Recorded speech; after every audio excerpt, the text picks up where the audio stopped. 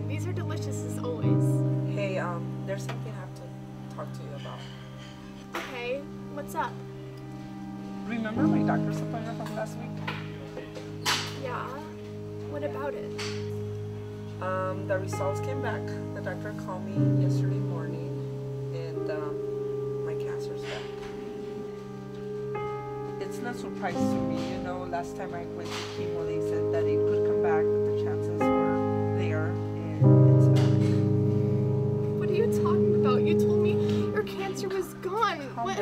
I know, I know. Everything's gonna be okay.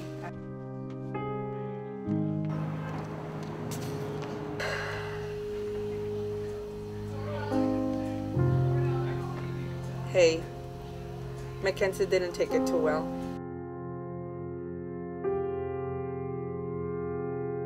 What did you want me to do?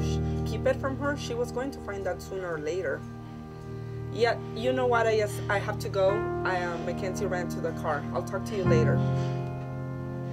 Can I have my check, please? Of course, ma'am. No problem.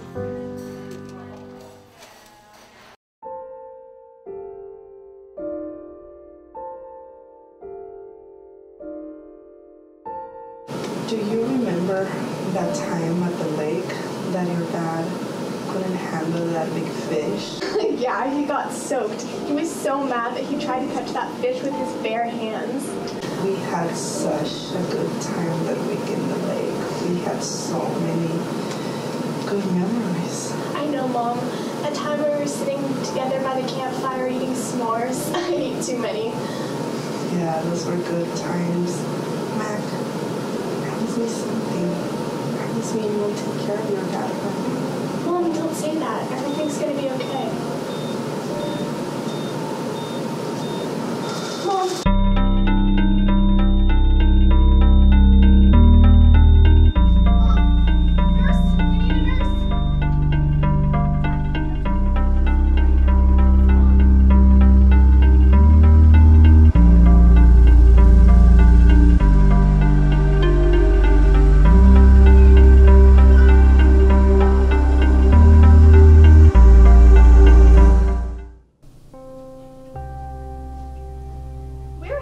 Been? Do you know what time it is? Yes, I do. It's exactly 4 1 in the morning. And you're not going to do anything about it because I'm the adult in this house. You do this every single night. I'm here waiting for you to come home, and I'm always worried about where you are and what you're doing. I wish I never married your mother or Addie. None of this would have been happening. I've had it with you. Ever since mom died, and you weren't even there. You've been a complete mess. You never take care of me anymore, and you come home at 5 a.m. every night.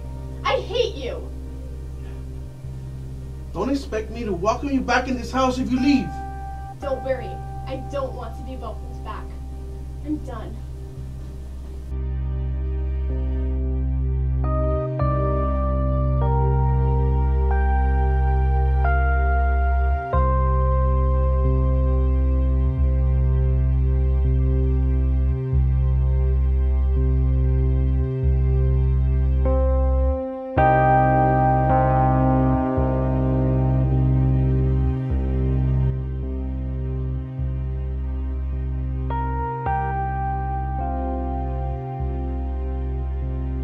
I know what you're to say, Natalia. I screwed things up. What am I supposed to do? You left me. You didn't fight. You abandoned us. You gave up. Couldn't take it.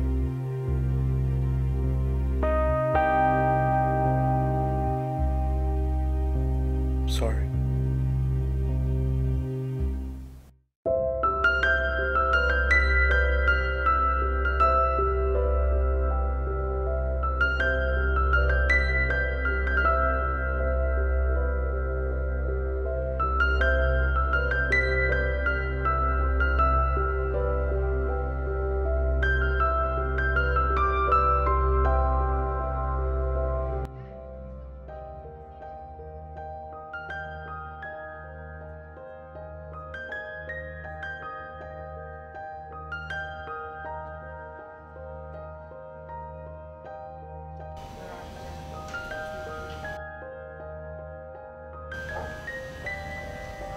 Welcome. Just one for today? Uh, yeah, just me. Can I get a booth, please? Yeah, come on. Can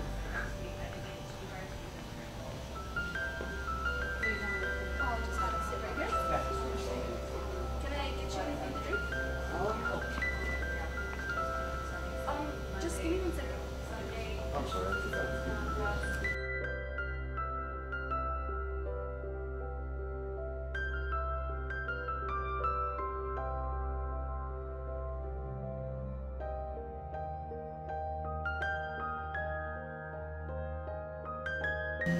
more and more I talk to him, I swear it's it's just like exactly like my dad. I mean, I don't know if I'm crazy, but Maybe he's right. It's been almost 20 years. I think it's time you need to reach out to your dad. You need to make an effort. You're gonna regret not saying goodbye if he dies. I know. I am, but can't you drop everything? Who's gonna watch Noah? I already told you, I'll watch Noah. It's no problem. You have done so much already. Too much to ask of you. Just think about it. Alright,